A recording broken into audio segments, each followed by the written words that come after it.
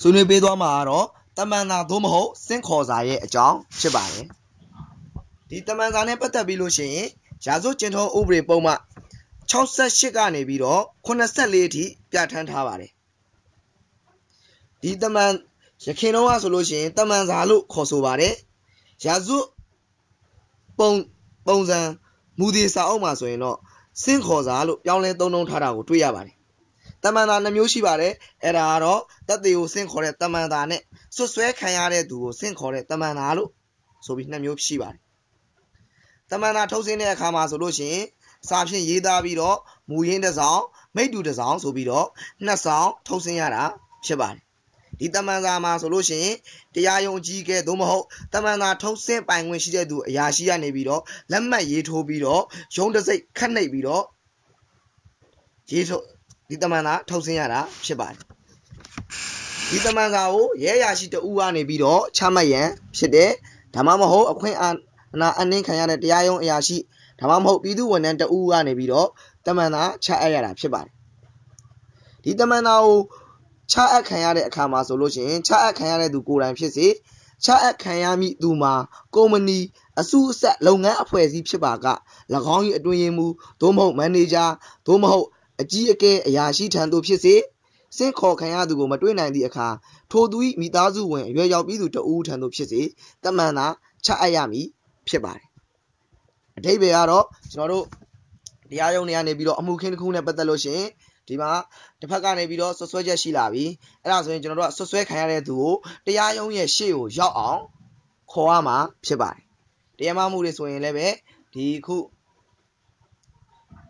တရားလိုကနေပြီးအဆိုပြုတင်သွင်းတဲ့အခါမှာတရားပြိုင်ထံကိုဒီတရားရုံးရှေ့ကိုလာရောက်ဖို့အတွက်ခေါ်တဲ့လိုပုံစံမျိုးပါအဲ့လိုမျိုးဒီပေါ့ရာဇဝမှုမှာတစ်ဖက်ကတန်လျှောက်ချက်ရှိလာလို့ရှင်တစ်ဖက်ကိုအေးအေးယူပြီးတော့အေးအေးယူတဲ့အခါမှာတစ်ဖက်ကအေးအေးယူခြင်းခံရတဲ့သူကိုတရားရုံးရဲ့ရှေ့ကိုအဲ့ဒီတရားခံကိုရောက်အောင်ခေါ်ဖို့အတွက်တရားရုံးကနေပြီးတော့တမန်တာထုတ်ဆင်းရပါတယ်အဲ့လိုတမန်တာထုတ်ဆင်းတဲ့အခါမှာဆိုလို့ရှင်တမန်တာကိုနှစ်ဆောင်ထုတ်ဆင်းရပါတယ်မူရင်းတစ်ဆောင် မိတ်တူတစ်ဆောင်ဆိုပြီးတော့နှစ်ဆောင်ထုတ်ဆင်းရပါတယ်အဲ့ဒီတမန်စာမှာဒီထုတ်ဆင်းပိုင်ခွင့်ရှိတဲ့အရာရှိကနေပြီးတော့အမှဒီတမန်တာမှာလက်မှတ်ရေးထိုးရတယ်ပြီးရင်ဒီရုံးရဲ့တစိ့ကိုရိုက်နှိပ်ဖော်ပြပေးရတယ်အဲ့လိုမျိုးတမန်တာထုတ်ဆင်ပြီးတဲ့အခါမှာဒီတမန်တာကိုသွားပြီးတော့အဲ့ဒီဆွဆွဲခံရတဲ့သူကိုသွားပြီးတော့စင့်မယ်စင့်တဲ့အခါမှာအဲ့ဒီဆွဆွဲခံရတဲ့သူကိုတွေးလို့ရှိရင်အဲ့ဒီဆွဆွဲခံရတဲ့သူကို လက်မှတ်ထိုးခိုင်းရမယ်သူဒီတမန်တာကိုသူသိရှိပြီးပါပြီဆိုတဲ့အကြောင်းဒီတမန်တာအတီးဖြစ်ပါတယ်ဆိုတဲ့အကြောင်းကိုအဲ့ဒီဆွဆွဲခံရတဲ့သူတမန်တာချအပ်ခြင်းခံရတဲ့သူကိုလက်မှတ်ထိုးခိုင်းရပါမယ်ပြီးရင်သူ့ကိုတစောင်ပေးခဲ့ပြီးတော့ကျန်တဲ့တစောင်ကိုတရားရုံးတော်ကိုပြန်လဲပြီးတော့ယူလာမှာဖြစ်ပါတယ်နောက်တစ်ခုအနေနဲ့ဒီလိုမျိုးလူတအူးတယောက်ကို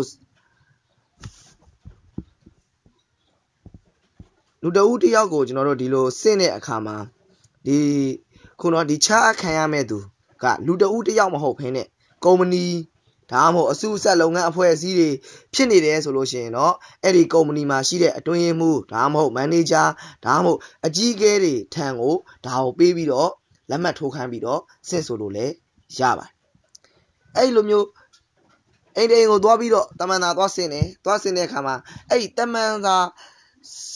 ချချင်းခံရမယ်အဲ့တရက်ခန့်အဲ့ဒီဆွဆွဲခံရတဲ့သူက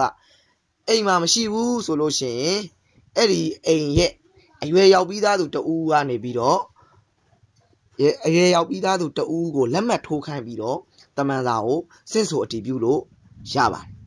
စောစောကပြောသလိုမျိုးအထက်ပါနီးလန်းနေအတိုင်းတမန်သာစင့်ဆိုလို့မရဘူးဆိုလို့ရှိရင်တော့အဲ့ဒီစင့်ဆိုခြင်းခံရတဲ့သူရဲ့အိမ်ဒါမှမဟုတ်မြင်သာထင်သာရှိတဲ့နေရာမှာအဲ့ဒီတမန်သာကိုကတ်ခဲ့ပြီးတော့အတိတ်တတွေရှေ့မှာကတ်ခဲ့ပြီးတော့ အတီးပြုလို့ရပါတယ်အဲ့လိုမျိုးဆောင်ရွက်ခြင်းအပြင်တမန်သားတွေကိုအတီးပြုဆောင်ရွက်တာဖြစ်ပါတယ်အနည်းချုပ်အနေနဲ့တင်ပြချင်တာကတမန်သားဆိုရင်နှစ်ဆောင်ရေးရပါတယ်မူရင်းတစ်ဆောင်မိတ္တူတစ်ဆောင်သွားဆင်းတဲ့အခါမှာဆင်းခံရတဲ့သူကိုတွေးလို့ရှိရင်အဲ့ဒီအဆင်းခံရတဲ့သူကိုလက်မှတ်ရေးထိုးခိုင်းပြီးသူ့ကိုတစ်ဆောင်ပေးခဲ့မယ်ကျန်တဲ့တစ်ဆောင်ကို ဒီတမန်သားအတီးဖြစ်ပါတယ်ဆိုတဲ့အကြောင်းတရားရုံးတော်ကိုပြန်သွင်းရမယ်အဲ့လိုမျိုးလူတဦးတယောက်ကိုဆင်းတာမဟုတ်ဘဲနဲ့ကုမ္ပဏီတို့အစုဆက်လုပ်ငန်းတို့အဲ့လိုမျိုးဟာတွေကိုဆင့်ရတယ်ဆိုရင်တော့၎င်းကုမ္ပဏီ၎င်းအစုဆက်လုပ်ငန်းရဲ့အကြီးအကဲမန်နေဂျာတွင်းရင်မှုတွေအဲ့လိုလူတွေကိုအတီးပြုတ်ပြီးတော့ဆင့်ဆိုလို့ရပါတယ်ဒါမှမဟုတ်ရင်လည်းပဲအိမ်တိန်ကိုသွားပြီးဆင့်တဲ့အခါမှာဒီတမန်သား ဆင့်တဲ့ရုံးကနေခေါ်တဲ့လူကိုမတွေ့ပေမဲ့၎င်းရဲ့မိသားစုဝင်တွေကနေပြီးတော့အရွယ်ရောက်ပြီးတဲ့ပုဂ္ဂိုလ်အရွယ်ရောက်ပြီးတဲ့သူတဦးတယောက်ကိုတွေ့ရင်လည်းပဲအဲ့ဒီသူတဦးတယောက်ကိုအတီးပြုတ်ပြီးတော့ဆင့်ဆိုခဲ့လို့ရပါတယ်အဲ့လိုမျိုးတွေတမန်သားတွေကိုချအပ်ဆင့်ဆိုအတီးပြုတ်တဲ့အခါမှာဆိုရင်မူရင်းကိုပေးခဲ့ပြီးတော့မိတ္တူကိုတရားရုံးတော်ကိုပြန်လဲတင်သွင်းရမှာဖြစ်ပါတယ်ဒါကတော့တမန်သားဒါမှမဟုတ် စင့်ခေါ်တာဆိုတဲ့အကြောင်းပဲဖြစ်ပါတယ်